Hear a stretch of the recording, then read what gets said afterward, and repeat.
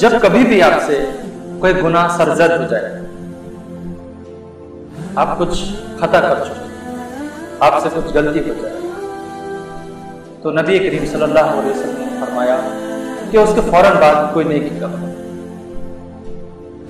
वो उस गुनाह को खत्म कर देगी।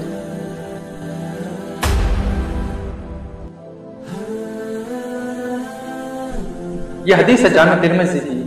हदीस नंबर एक हज़ार नौ सौ सतासी सही हदीस है।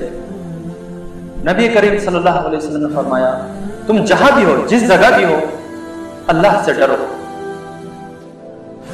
और गुनाह के बाद नेकी करो।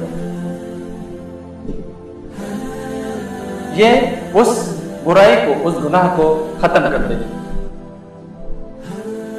नेज लोगों के साथ हुस्न सलूक करो लोगों के साथ अच्छे तरीके से पेश आओ।